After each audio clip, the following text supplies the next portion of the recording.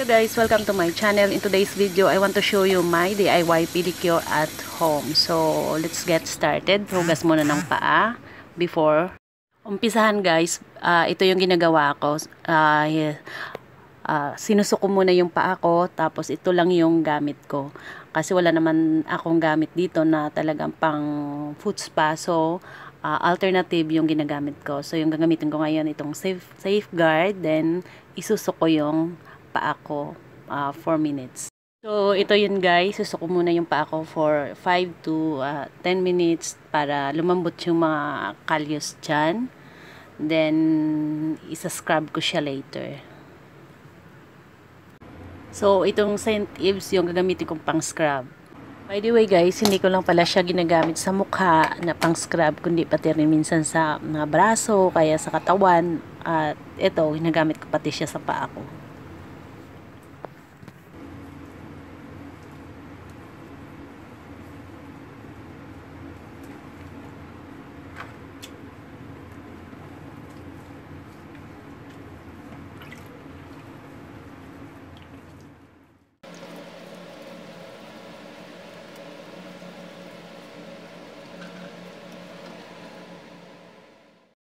Uh, gumagamit din ako nito guys na pang scrub para mas lalo yung, eh, 'di ba, malambot na siya. Ang dali nang tanggalin ng uh, mga uh, dried skin, uh, dead skin cells diyan sa paa natin.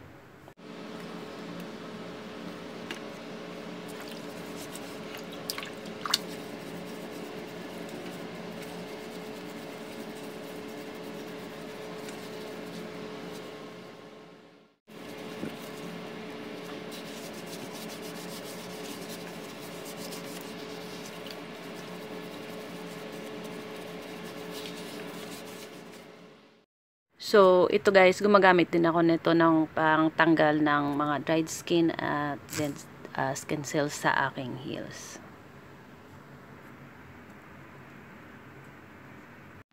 So, ito na guys, done na tayo sa scrubbing. Then, ito na, i-dry ko na yung aking mga paa. Uh, ready for, ano, uh, pedicure na.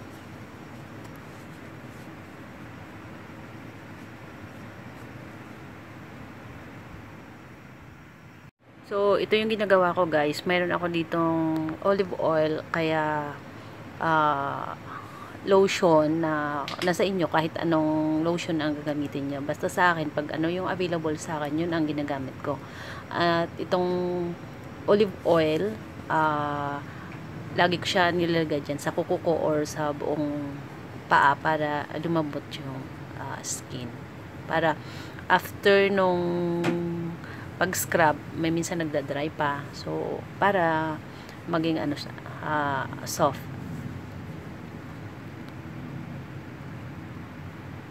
Tapos nilalagay ko rin yung oil dun sa aking mga kuko. So, ito guys, meron ako ditong cuticle remover para, ayun, mas malambot lalo pagka pinush yung uh, cuticle at saka at the same time mas madali siyang uh, tanggalin yung yung uh, yung cuticle na nakapaligid pati yung mga uh, dried skin cells dyan. Uh, yan. Ipupush ko lang siya upward stroke. Tapos yun tinatanggal din sa, kilid, sa gilid ng ating kuko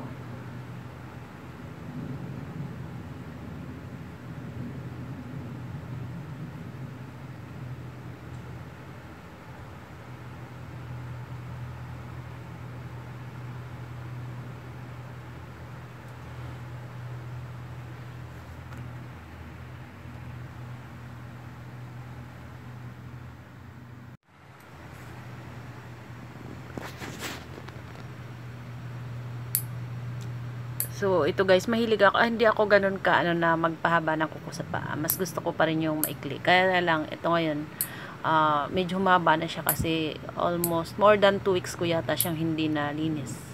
Alam mo na, ang hirap kaya maglinis ng sariling paa. Hindi na totoo lang.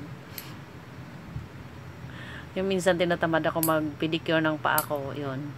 Kaya umabot ng 2 weeks. But, mas maganda sana kung every week ka naglilinis ng uh, paa, ng kuko sa paa. Yan guys. Mas uh, prepare ko yung maikli. So, ito guys yung gamit kong nail cutter, yung uh, straight lang siya kasi mas gusto ko yung square. So, kung, kung straight siya, maibibigay sa'yo yung uh, gusto mong shape na square. Di kagaya ng isa na to na mayroon siyang curve. So, ganito ko siya guys, tinatanggal yung mga dried skin ko dito sa ilalim ng kuko.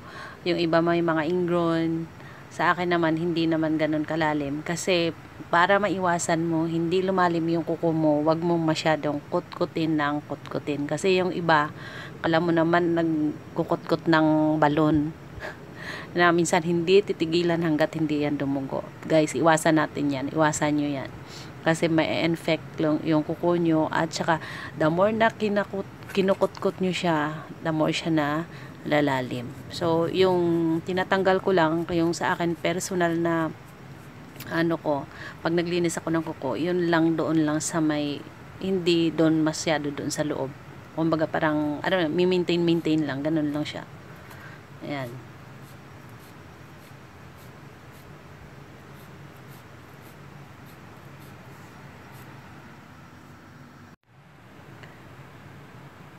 So, ito guys, mga unnecessary cuticle yung tinatanggal ko. Yung, at saka iniwasan ko talaga masugat yung aking paa kasi doon nag-uumpisa yung uh, infection.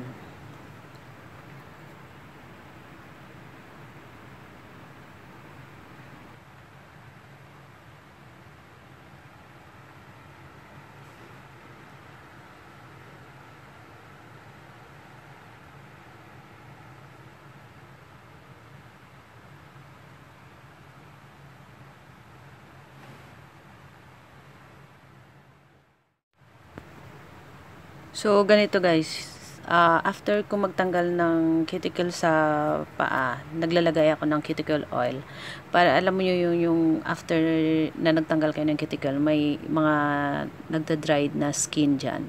Yan, para iwas, uh, ano yun, para uh, maiwasan yung pag uh, dry ng skin. So, kailangan maglagay ng moisturizer. So, ito yung gamit ko na cuticle oil.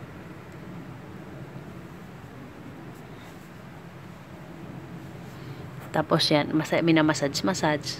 Oh. Massage, massage lang ng konti.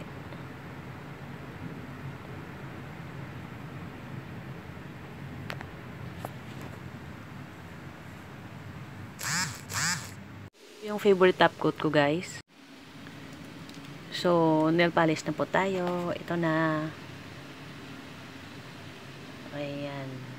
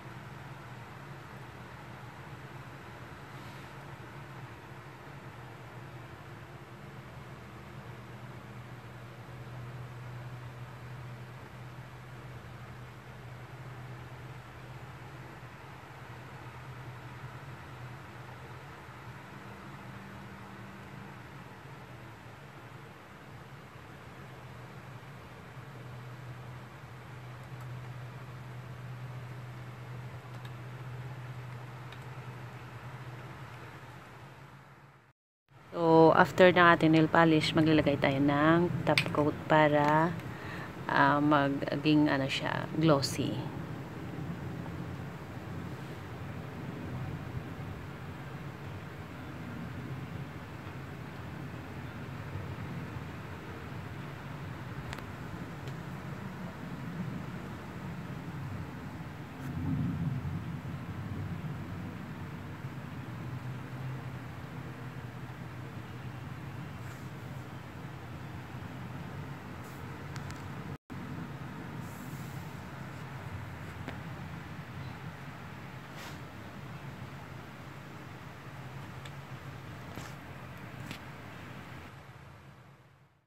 So, ito na yung final result guys ng ating DIY pedicure. So, ito na siya. Mukha ng paa yung paa ko at uh, kung napapansin nyo, laki ng paa ko. Yes, malaki yung paa ko.